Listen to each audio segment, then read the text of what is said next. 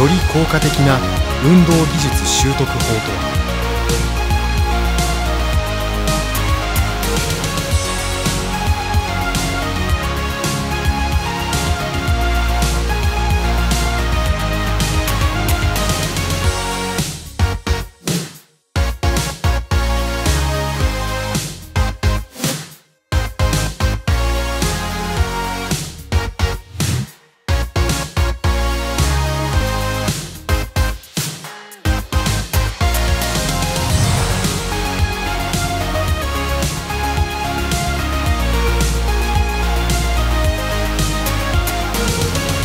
怪我などの緊急時にどう対処するべきか。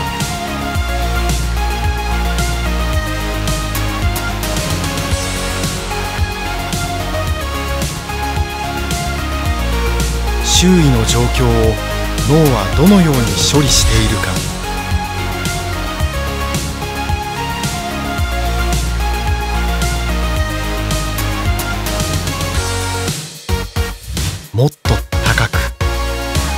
もっと強く。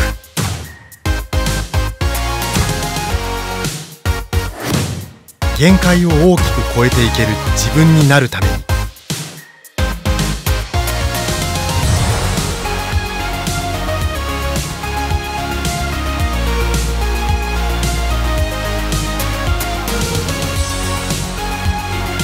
地をつなぐ。未来を作る。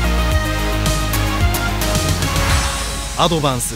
2022福井工業大学。